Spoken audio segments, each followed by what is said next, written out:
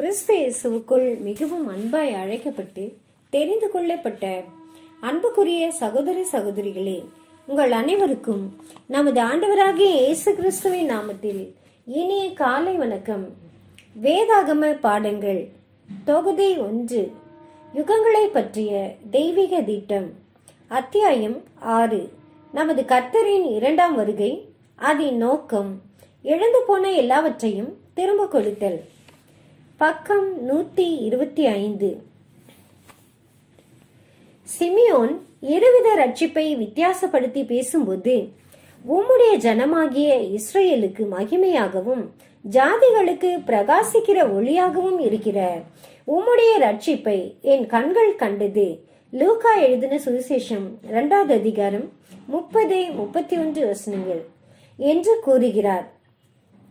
மத்தியஸ்தராகிய இயேசு கிறிஸ்து எல்லாரையும் மீட்கும் பொருளாக. தம்மை ஒப்பு கொடுத்த விஷயமானது ஏற்ற காலத்தில் எல்லாருக்கும் சாட்சியாக விளங்கப்பட வேண்டியதென்ற சலருடைய வார்த்தையோடு மேற் சொன்ன வாக்கியம் ஒத்து போகிறது இதுவே எல்லா மனுஷருக்கும் கிடைக்கிறதா இருக்கிறது இதற்கு அவர்களுடைய விசுவாசமோ அல்லது சித்தமோ வேண்டுவதில்லை. எல்லா ஜனத்திற்கும் ஒரு ரட்சகர் இருக்கிறார் என்ற நற்செய்தி இருந்தாலும் லூகா எழுதின சுவிசேஷம் இரண்டாவது அதிகாரம் பத்து பதினொன்று வசனங்கள். பாவத்திலிருந்தும் மரணத்திலிருந்தும் விடுதலையாக்குகிற ஒரு விசேஷமான ரட்சிப்பு அவரை விசுவாசிக்கிறவர்களாகிய அவருடைய ஜனத்திற்கு மட்டும் வரும். மத்திய எழுதின சுவிசேஷம் ஒன்றாவது அதிகாரம் இருபத்தி ஒன்றாவது வசனம். ஏனெனில் குமாரனை விசுவாசியாத அவிசுவாசியின் மேல் தேவ கோபம் நிலை நிற்கும் என்று நாம் வாசிக்கிறோம். யோவான் எழுதின சுவிசேஷம் மூன்றாவது அதிகாரம் முப்பத்தி ஆறாவது வசனம்.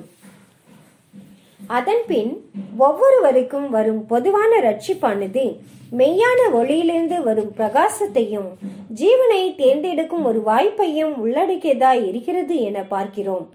மேலும் மனுக்குலத்தில் பெரும்பாலானவர்கள் கல்லறையில் இருப்பதால் இரட்சகரை பற்றிய நற்செய்தியானது அவர்களுக்கும் சாட்சியாக சொல்லப்பட வேண்டுமாதலால் கல்லறையிலிருந்து அவர்களையும் கொண்டு வர வேண்டும் என்பது அவசியமாகிறது.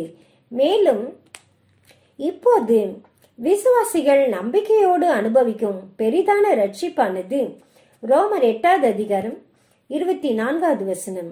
ஆயிர வருட அரசாட்சியில் நிஜமாகிறது போல அந்த ஆயிர வருடத்தில் விசுவாசிக்கிறவர்களுக்கு அதே போல மெய்யாய் வெளிப்படுத்தப்பட்டு பாவத்தின் முழு அடிமைத்தனத்தினின்றும் மரணத்தின் அழிவினின்றும் முழு விடுதலை கொடுத்து தேவனுடைய பிள்ளைகளாகும் மகிமையான சுயாதீனத்தையும் அந்த பொதுவான ரட்சிப்பானது அடைய செய்கிறது.